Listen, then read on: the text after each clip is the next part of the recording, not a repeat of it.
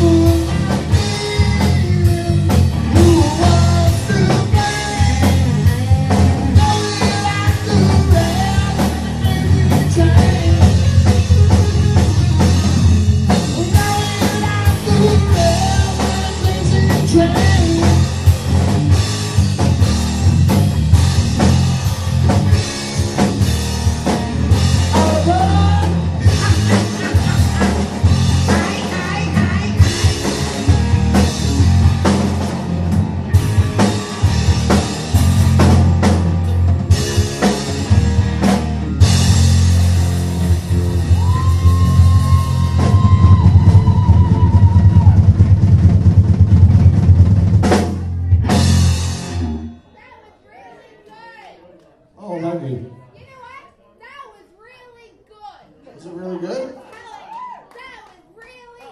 Is it really good?